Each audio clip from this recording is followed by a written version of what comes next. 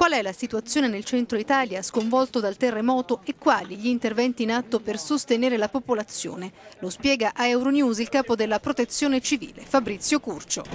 Situazione diciamo, in cui le persone sono prevalentemente fuori dalle abitazioni, molte si stanno trasferendo verso la costa o verso altre strutture dove ci sono gli alberghi, alcuni invece sono nelle, diciamo, per quello che è agibile sulle città, quindi all'aperto eh, si sono radunate, questa è la situazione. Poi c'è tutta l'attività che si sta facendo in termini di valutazione sulla viabilità, strutture sanitarie, eh, eh, valutazione sull'acqua potabile, insomma tutte le attività e le azioni che eh, portano ad avere uno scenario soprattutto sulle infrastrutture e poi tutto ciò che attiene all'assistenza alla popolazione in termini più generali.